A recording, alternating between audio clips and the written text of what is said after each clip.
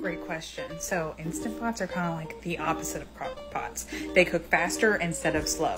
The only real reason why I prefer the instant pot is because, well, there's two reasons. One, my brain cannot comprehend making dinner in the morning.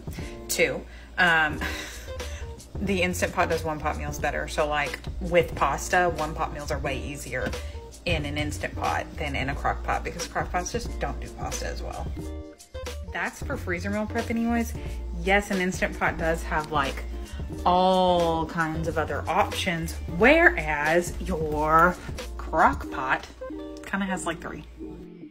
But when I write recipes, you can do all of them in a crock pot. If I have an instant pot recipe, I always have alternatives for each one because I know not everybody has both. It depends on how you like to cook.